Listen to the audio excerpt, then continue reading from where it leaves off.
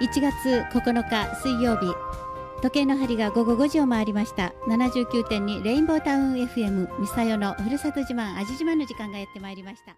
そして私の前に今とっても素敵な方がお座りでございます。女優の磯村みどりさんです。ようこそお越しいただきました。こんばんは。こんばんは。よろしくお願いいたします。今も舞台の真っ最中なんあのご稽古の真っ最中なんですね、はい。舞台のお稽古の、はいねえ、はい。もありがとうございます。いいえ。お忙しい中駆けつけてくださいました。いいえどういたしまして。はい、もう磯村みどりさんと言いますと。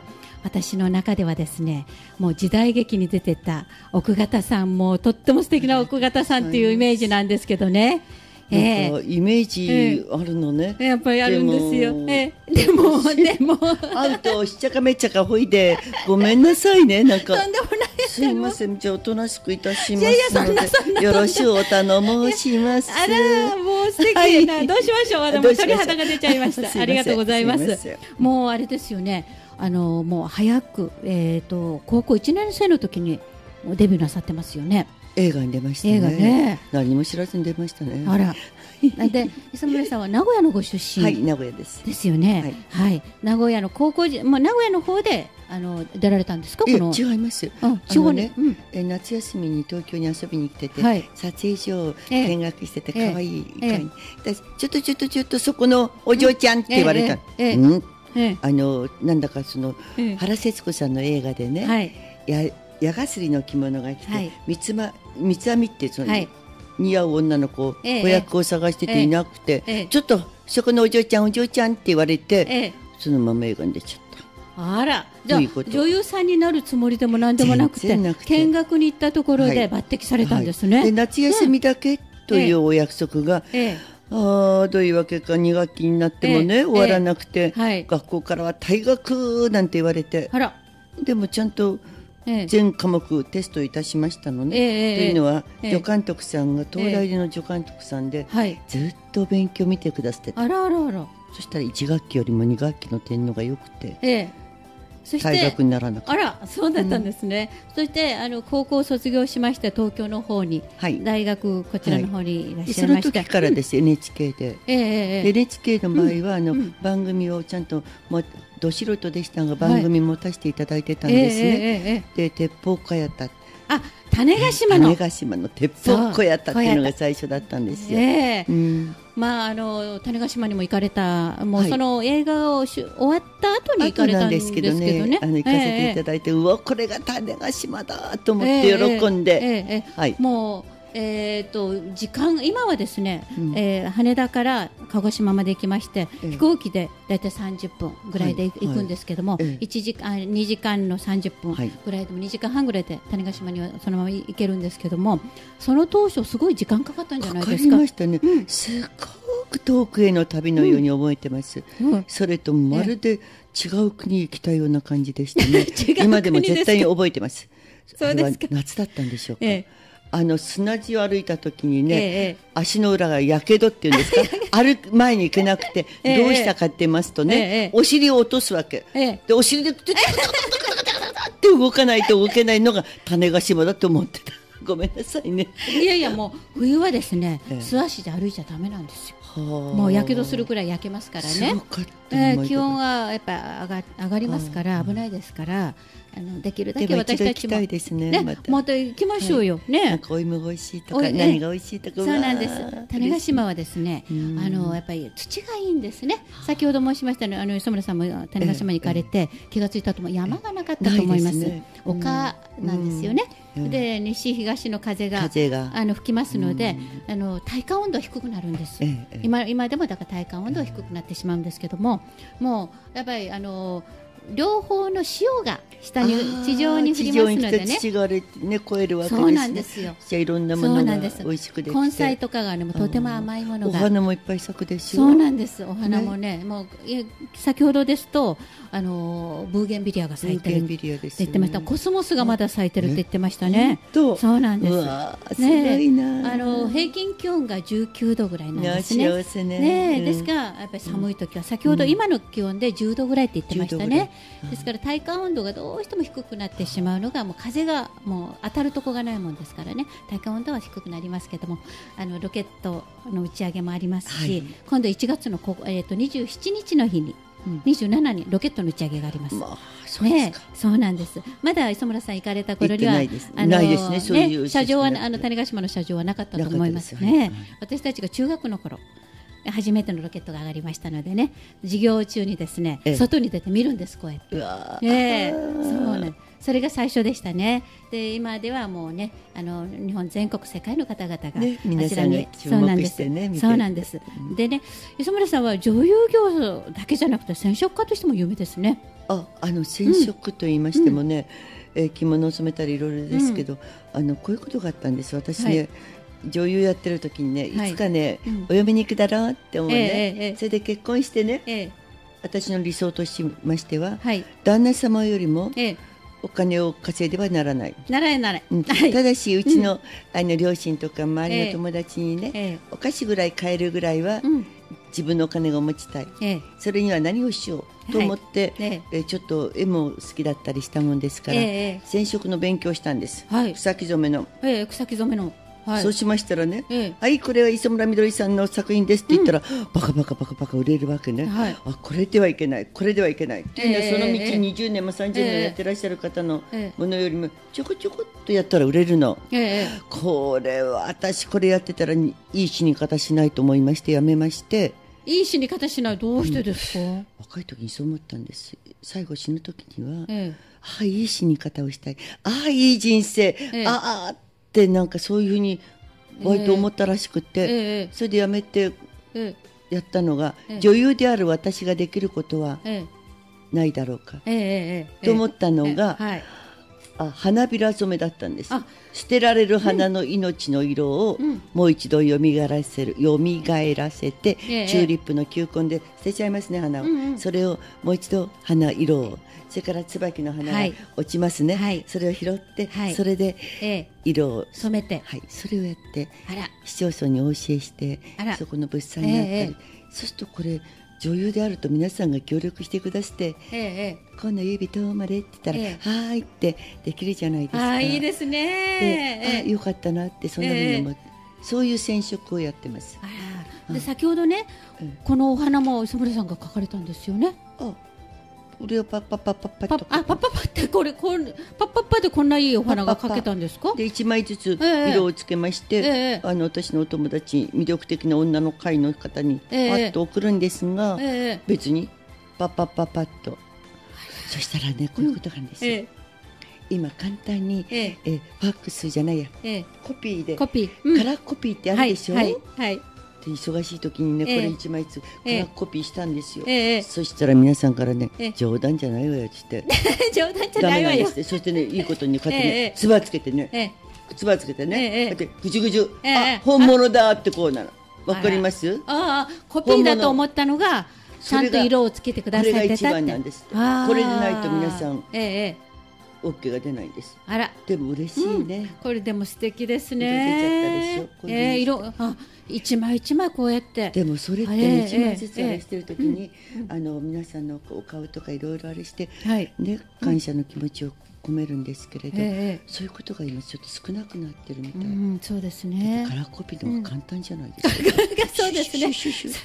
私なんかもついついですねカラーコピー取っちゃいます。いけませんね。心がこもってないような気がしますね。ね。ええ。もうあの見習いたいと思いますそしてね先ほどお話をしましたけども、今舞台の稽古中だという稽ことで,、古中です。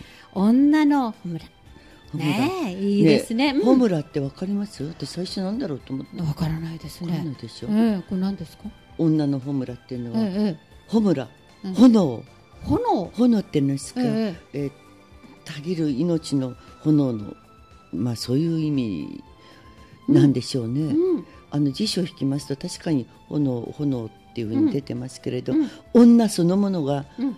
のここなんでしょう純愛っていうのか愛の形もいろいろあるんだけれど、はい。女っていうのはこういうものであろうというええ。業を背負った女のあ号ですね。高橋おででんなんです、知ってますか高橋おでん。ちょっとわからないですが、あのねえ高橋おでんっていうのは毒婦って言われてるんです。毒婦。婦。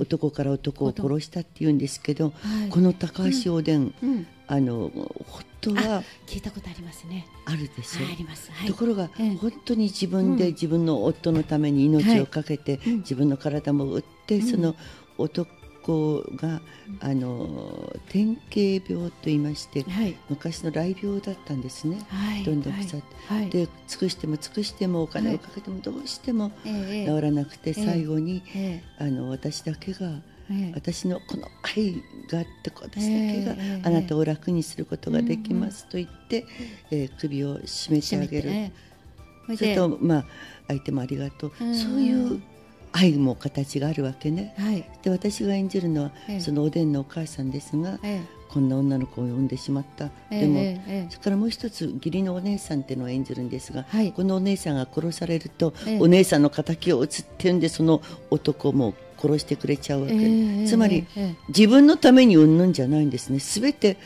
慈愛の心だった、でも世の中ははい。何人も男から男に行ったええ男を殺したっていうことで、毒婦と言われて、うんうんうん。でも最後、えー捕まるって、うん。えーえー斬首首を切られる、はい。それが山田朝右衛門、ええ。えー、8代目かな、うん。が首をお切りになるんですが、それが日本での斬首の最後ですって。それ以後はそういうことはなくなったという方ですが、ええ。素晴らしい女の鏡みたいなものなんです、ええ。それを一般的に毒婦と言ってしまった、うん。でも考えてみますれば、はい。女はこうありたいなと、はい今亡くなってるうん。愛の形、はい。それぞれの愛の形はあるけど、うんこういう愛の形がうん。あってもいいんじゃないかと。いいそうですよね。んそれを演じてます。ぜひ見に来てください、ねえ女の穂村高橋おでん、おでん切なき愛の物語って書いて、わ切ない。切ないです。切ないですね、うん。でもでもそれ人それぞれ愛の形ってね違いますからね。違って当たり前でもいいと思うんですが、ええええはいこの形もあるってことも、ええええ。今の若い人に見てほしい、そうですでね。自分の愛の形と、うんうん。自分の心意気と、はい。なんかこう考えていただけたら、素晴らしいなって思える作品です。ぜひねお伺いしたいと思います、はい。2013年1月の16日水曜日から20日の日曜日、はい、東京芸術劇劇場シアターウエストで、えー上演されるんですね。そして、えー、とお問い合わせがですね、えーピープルシアタはい。ーの方にあのお問い合わせしますともううんあのホームページ出てるんですね。はいぜひですね、ぜひえー見ていただきたいと思います。14時からの上演と、えー、17あ19時ですね。19時はい、えー、2回公演になってますので、ぜひですね、お問い合わせいただきたいと思います。そしてですね、今磯村さんがですね、大事にしてるもの、おかお父様、ああの、うん、私の父が今101歳です。101歳、すごいです素ね。敵ですよ明治44年のとずっと、はい私一度もよ呼びに行ってませんのでずーっと一緒です。今から行きましょうか。はい、行きたいですね。募集します。募集します。いいですね。親が一番なんですね。一番。はい、二二番目は番がうん女優。女優さん。三番が染色。さあはい、染色家。ね染人。はい四番、はい女の道。あ、女の道いいですね。五六がボランテあ、ィア。いいですね。それだけです。あら、親で女優業で、で染染人で女の女道。でいいですねいいでしょ？そしてボランティアですね。いや最高ですね。あのいやうん。もうぜひですね外からです。あ、あなんかなんか外から。募集って言ったら、ええ僕っていう人がいた。うわ、ほやが嬉しいね。あらあらたくさんいますよ。あららら、あらららららまあどうしましょう。どうします？私ドキドキ。いいですねいい新年ですわ。ねハッピーだ。なんかなんかこああのね声が上自ずってるよ。声が上ずってきちゃった。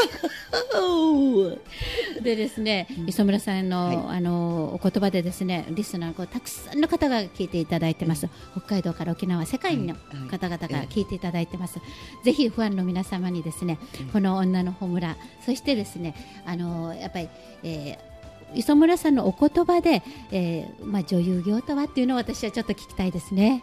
あの女優というのは、え NHK の時に言われました、はい女の湯と書きます、はい女の湯って書きますね。うん。あの州でなくてもいいから湯う。ん湯のがである点を。とええ。湯湯優秀優秀ですね。はい。で何でもできなければ女優ではない女ではないということで、うん。私はそれであのお産もできるお掃除もできる、何もできるできる、はいできる、うんうん。できるとういうん。ことをさせていただけたことが感謝ですが、うん。人の様の人生のを、うん私の肉体心を使ってはい。演じさせていただいて、人様に喜びとはい。感動を与えるというお仕事をさせていただけることへの感謝です。ああ感謝です。感謝ですね、はい。それとありがとうあという言葉が大好きでうんとても大切にしてますね。うん。お父様がいつもありがとうありがとうっておっしゃるっておっしゃってね。がとうありがとうね。ありがとうって可愛いですね。嬉しくなりますでしょ。そうですね、そしてですねこの明日の希望っていうのがありますよね。うんこれはこれは、うん、アニメーションになってますけれど、これ声優を務めてらっしゃる。はい、はい。あのね、うん。その声優を務めていることに意味があるのではなくて、はい。障害者のことをええええ。あの仕事をしてます、ん。あの障害者支援の仕事をはい。して、ね。あのパイロットクラブっていうのをやってるんですが、ええ。でこれはあの北海道のお話で、ええ。障害を持ったはい。方のお話なんです。はい。はい。えー手もなく、ええ。それから片目がなくて、はい。この男性が、はい。あのクリーニング屋を開くんですが、はい。はい。今年収今お父様亡くなってお息子さんの時代ですが、ええ。年収70億とか、え100億。70億？はい。あらつまり障害者の方たちがええええ。きちんと働いて素晴らしいお仕事をしてらっしゃる、えええええークリーニング屋の話です、はい。実在のお話ではい。アニメーションになっておりますので、はい。ぜひこれもそうですえね、ーずっとこれからもかかると思います、ええ。はいそしてあのーえその役で見てください。素晴らしい方あがら。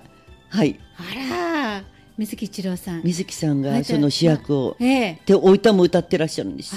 素晴らしいです。ナレーションが市原悦子さん、はい。はい。わ素晴らしいこれはあのですね1年かけうんていろんなところで上映運動してますので、ええ。ええ。またぜひぜひ。そうですね、はい。ぜひねあの一度見たいなと思いますね、はい。ありがとうございます。そしてですねもう一つね私気になったことがありまして、はい。魅力の女性の女の会と書いて見目の会。美目の会、はい魅力の女のそうなんです会っていうのもずっとやってるんですけど、はいあの肩書き抜きにして、ええすべて抜きにして女としてはい魅力のある女でいましょうね、という回です。私外れちゃうわ、どうしましょういやいやいやいやぜひぜひぜひ。ただしねこれね、ええ男性の場合は難しいんですよ。ええ男性の場合は、ええあそこにもいらっしゃるええんですが、あの女性からねあの人はいダメよと言われたら、ダメなんですかあのダメなんです。あらじゃあ先ほどね、うん。お婿さん候補の方たちはどうですかね？大丈夫です大丈夫です大丈夫ですか？大丈夫です。つまりかいい男性がいてくださらないと、ええ女はええ。魅力的な女にはなれません、あいいですね。これがええええ。元です。そうですね、い、やもうねぜひですね未明の会こちらの方もですね新年会やったりいろんなことやります。本当ですね。なんかあのー旅行に行ったり。はい外国に行ったり外国に行ったり。花旅行にしたり、おまあ、いろんなことおをします。花見に行ったり。はい温泉に行ったりとか、ええいろんなことをしますが、ええ要は、えいい男性を中心に、はい。い、い女が集まる、いいですでね魅力的な、ええ。うん、なんかすごくね、磯村さん、可愛らしいんですけど。まだ嫁に行ってまませんのあで今からですよね、今募集しましたからね。うんいらしたからうわ、ねなんか皆さん手挙げてますからね。また手を挙げてヤッホヤッホヤッホヤッホ嬉しい。そしてもう一つですね、CD 出されましたね。ああのね、うん。舞台でね、うん。命の花という舞台をやってる時にこれ、はい命の大切さ、ええ今年もあの秋ぐらいにやりたいんですけどその中でね、ええうん。歌を歌ってたら、ええ。歌の部分がいいっていうんで、バーバーブギウギって歌なんです。バーバーブギウギ。ええ。はい。えー、とを見損なっちゃいけねえよって言うんですが、ええええええ。その部分だけが今、ブレイクしまして、ええ介護施設とか老人クラブとかにお呼びがかかりましてね、ええええあの歌いに行くんです。もう CD が今ないない状態だっていうのが CD は売り切れ、うん売り切れというよりも舞台用に作ったから、うんええあんまり作らなかったから、ええーっとお金貯めて作り直します。ええぜひでね。もちょっとだけあるけど、一枚だけあった。え一枚だけありました。はい。じゃあ曲紹介をお願いしてよろしいですか？はい、あのこれで、ええ。どういうわけかじじいとばばあが歌うんですが、え腰を曲げないと歌えないんですけど、ええ。歌を聴くとええ。元気になってしまうっていうんです、はい。はい。当たり前の歌なんですけど、はい。バーバーブギウギっていうんです。バーバーブギウギ、みどりさんで。はい。はい。はい、聞いていただきます。聞いてください。本日ありがとうございました。ありがとうございました